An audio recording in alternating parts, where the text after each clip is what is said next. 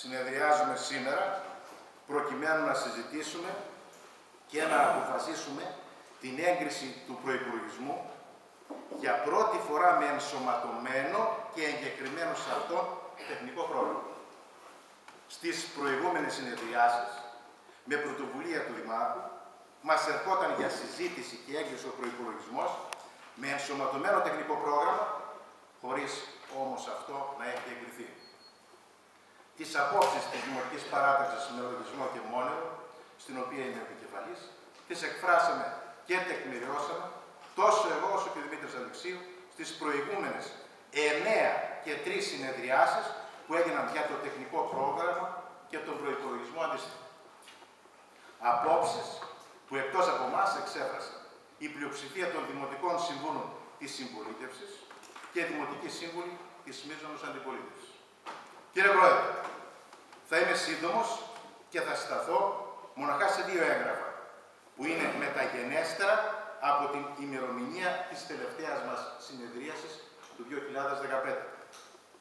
Στέκομαι σε αυτά τα δύο έγγραφα, γιατί με αυτά μπορεί να πιστεί και η μειοψηφία των Δημοτικών Συμβούλων της Συμπολίτευσης, η οποία είχε διαφορετική άποψη. Το πρώτο έγγραφο έχει αποδέκτες το Δήμαρχο, εσάς κύριε Πρόεδρε, και το Γραμματέα του Δημοτικού Συμβουλίου για να επιδοθεί στους Δημοτικούς Συμβούλους.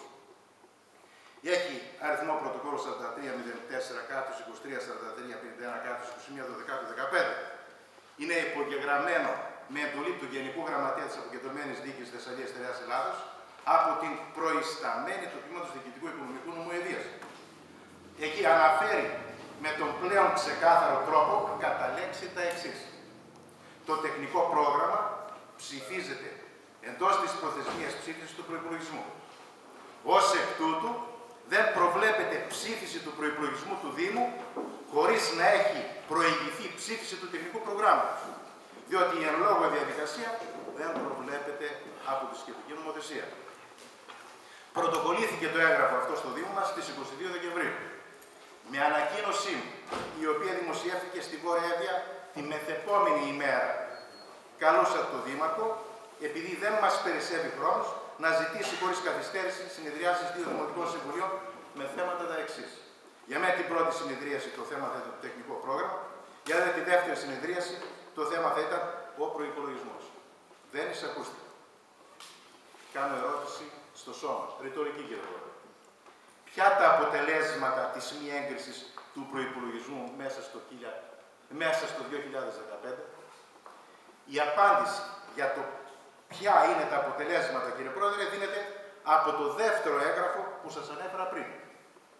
Αυτό έχει αποδέκτες τις αποκεντρωμένες διοικήσεις, τους Δήμους και τις περιφέρειες της χώρας. Μάλιστα σε παρένθεση αναφέρονται τα γραφεία των Δημάρχων και Περιφερειακών. Έχει αριθμό πρωτοκόλλου 1467 κάτω 18 Ιανουαρίου 2016 και υπογράφεται από τον Γενικό Γραμματέα του Υπουργείου Εσωτερικών και Διοικητικής ε, Ανασυγκρότησης.